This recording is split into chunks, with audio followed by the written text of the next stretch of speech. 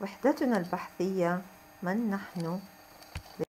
سيتم تقييم قراءة المتعلمين من خلال النص الأول العيش بسلام حسب معايير القراءة الصحيحة وهي نطق الحروف بشكل صحيح مراعاة الوصل والوقف والتلوين الصوتي.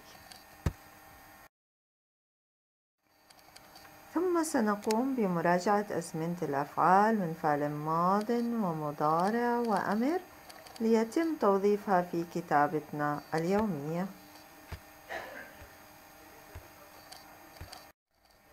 سنقوم بالبدء بالمهارة الإملائية كيف نميز بين التاء المربوطة والتاء المفتوحة؟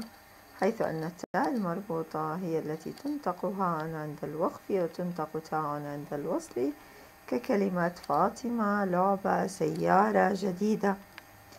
أما التاء المفتوحة فتنطق تاء عند الوقف وتاء عند الوصل ككلمة المعلمة المعلمات في جمع المؤنث.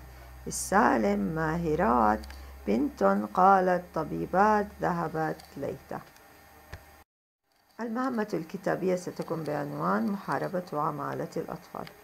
سنشاهد عدة فيديوهات ونقرأ عدة مقالات للتوصل إلى مفهوم عمالة الأطفال لماذا يجب محاربة عمالة الأطفال؟ ما الهدف من المحافظة على حقوق الأطفال؟ ما الجوانب العقلية والجسمية والنفسية التي تؤثر على حرمان الأطفال من حقوقهم؟